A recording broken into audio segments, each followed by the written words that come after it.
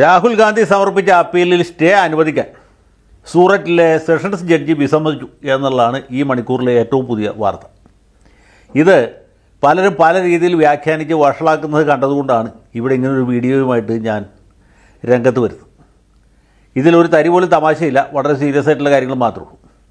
എന്താണ് ശ്രീ രാഹുൽ ഗാന്ധിയുടെ പേരുള്ള കേസ് നമുക്കറിയാം. അദ്ദേഹം കോളാറിൽ നടന്ന ഒരു യോഗത്തിൽ നരേന്ദ്രമോദി ലളിത് അ- നീരവ് മോഡി എന്നിവരുടെ പേരെടുത്ത് പറഞ്ഞതിന് ശേഷം എന്തുകൊണ്ടാണ് എല്ലാ കള്ളന്മാർക്കും മോഡി എന്നൊരു സർണയം വരുന്നത് എന്ന് പരിഹാസമായിട്ട് പറഞ്ഞു എന്നുള്ളതാണ്.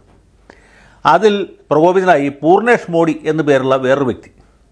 അദ്ദേഹം പേരെടുത്ത് പറയപ്പെട്ട ആളല്ല. ഒരു പരാതിയുമായിട്ട് സൂററ്റിലെ ചീഫ് ജുഡീഷ്യൽ മജിസ്ട്രേറ്റ് കോടതിയെ സമീപിച്ചു. ചീഫ് ജുഡീഷ്യൽ മജിസ്ട്രേറ്റിന് മുമ്പിൽ വിചാരണ നടന്നു. രാഹുൽ ഗാന്ധി കുറ്റക്കാരനാണെന്ന് കണ്ടു. സത്യം പറഞ്ഞാൽ ഈ കേസ് തന്നെ നിലനിൽക്കുകയില്ല. രണ്ട് കാരണം കൊണ്ട് ഒന്നാമത് ഈ കോളാറിൽ നടന്ന പരാമർശത്തിന് സൂററ്റിൽ കേസ് നിലനിൽക്കില്ല. സംഭവം എവിടെ വെച്ച് നടന്നോ അവിടെ മാത്രമേ ആ കേസ് ഫയൽ ചെയ്യാൻ പറ്റുകയുള്ളൂ ഇപ്പോൾ പൂർണേഷ് മോഡിക്ക് എന്തെങ്കിലും പരാതി ഉണ്ടായിരുന്നെങ്കിൽ അദ്ദേഹം അത് കർണാടകത്തിൽ വന്ന് കോളാറിലെ ആ മജിസ്ട്രേറ്റ് കോടതിയിൽ കൊടുക്കേണ്ടതായിരുന്നു. അത് കൊടുത്തില്ല. അപ്പോൾ അതുകൊണ്ട് ഈ കേസ് നിലനിൽക്കുകയില്ല ഒന്നാമത്തെ കാര്യം. രണ്ടാമത്തേത് മോഡി എന്ന് പറഞ്ഞ ഒരു വിഭാഗത്തിലെ എല്ലാ ആളുകളെയും ഇദ്ദേഹം കുറ്റപ്പെടുത്തിയെന്ന് പറഞ്ഞാൽ പോലും ഇന്ത്യൻ ശിക്ഷാ നിയമം അനുസരിച്ച് ചാർജ് നിലനിൽക്കില്ല വ്യക്തി പേരെടുത്ത് പറയപ്പെട്ട ആളുകൾക്ക് ബാനാഷ്ട കേസ് കൊടുക്കാം. നീരവ് മോഡിക്ക് കൊടുക്കാം ലളിത് മോഡിക്ക് കൊടുക്കാം നരേന്ദ്രമോദിക്ക് കൊടുക്കാം.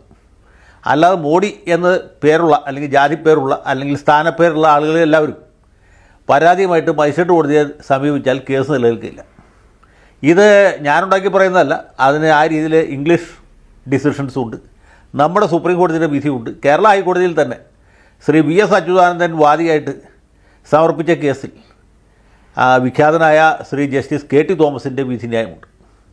അപ്പോൾ ശ്രീ രാഹുൽ ഗാന്ധിക്ക് പറ്റിയ ഏറ്റവും വലിയ തെറ്റ് എന്ന് പറയുന്നത് അല്ലെങ്കിൽ അദ്ദേഹത്തിന് പറ്റിയ അബദ്ധം എന്ന് പറയുന്നത് സൂററ്റിൽ ഇങ്ങനൊരു കേസ് വന്ന സമയത്ത് തന്നെ അദ്ദേഹം ഗുജറാത്ത് ഹൈക്കോടതിയെ സമീപിച്ച് അതിന് സ്റ്റേ വാങ്ങേണ്ടതായിരുന്നു. ആ കേസ് തന്നെ അസ്ഥിരപ്പെട്ടു പോകുമായിരുന്നു. അത് ചെയ്തില്ല. അതിന് പകരം അദ്ദേഹം ധൈര്യസമേതം അവിടെ പോയി കേസ് ഡിഫെൻഡ് ചെയ്തു. വലിയ കുഴപ്പത്തിൽ ചെന്ന് അവസാനിച്ചു.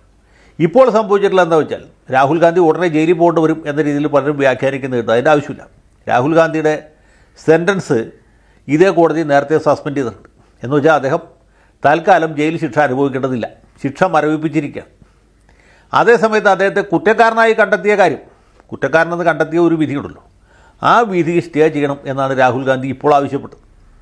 അതിന്റെ കാരണം എന്ന് വെച്ചാൽ ഈ കുറ്റക്കാരനെന്നുള്ള വിധി നിലനിൽക്കുന്നിടത്തോളം കാലം അദ്ദേഹത്തിന് പാർലമെന്റ് അംഗമായിരിക്കുന്നതിന് അയോഗ്യതയുണ്ട്.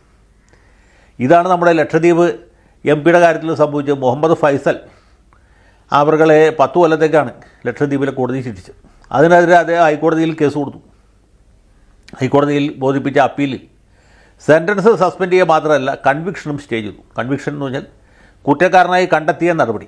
അപ്പോൾ കുറ്റക്കാരനായി കണ്ടെത്തിയതും സ്റ്റേ ചെയ്താൽ പിന്നെ ജനപ്രാതിനിധ്യ നിയമപ്രകാരമുള്ള അയോഗ്യതയില്ല.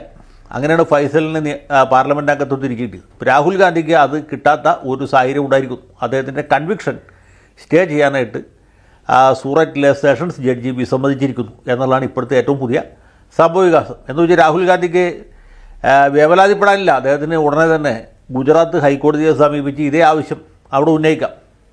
എന്റെ പേരിലുള്ള സെന്റൻസ് സസ്പെൻഡ് ചെയ്തിരിക്കുകയാണ്. ഇനി കൺവിക്ഷൻ കൂടി സ്റ്റേ ചെയ്യണം എന്നാവശ്യപ്പെട്ടാൽ.